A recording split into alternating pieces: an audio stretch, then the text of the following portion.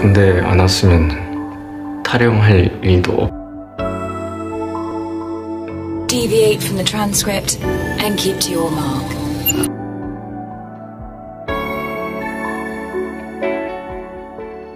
하늘에 닿을 만큼 높은 걸요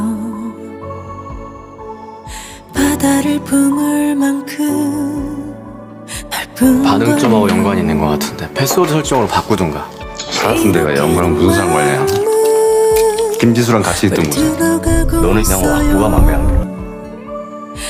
널 처음 만났을 때가 생각나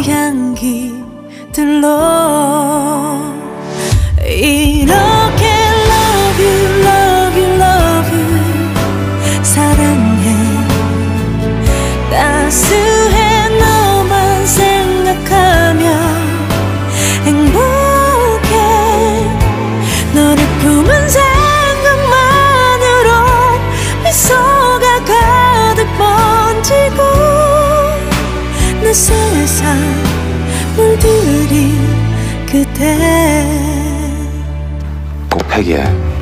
그대란 우리끼리 하는 비공식 테스트는 여기까지. 꽃이라면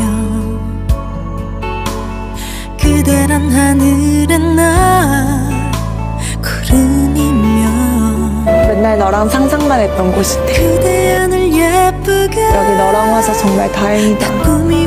평범한 사람이었다 색깔들로 지수야 다음에 도망갈게. you, 됐지? 지수야, 지수야. 오랜만에 들으니까